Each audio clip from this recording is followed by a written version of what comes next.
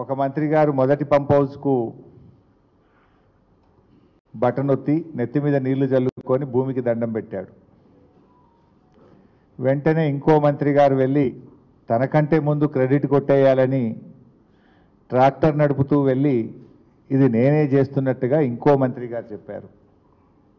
అసలు నేను కదా నీటిపారుదల మంత్రి అని నిన్న ఇంకో మంత్రి గారు పోయి ఆయన కట్టుకొత్తి ఇది నాది అని చెప్పి నా సొంతమని మూడవ మంత్రి గారు బయలుదేరినారు. ఇక ఈ ముగ్గురు మంత్రులు క్రెడిట్లో పోయి ఇప్పుడు పదిహేనవ తారీఖు నాడు ముఖ్యమంత్రి గారు పోతారట ఇక.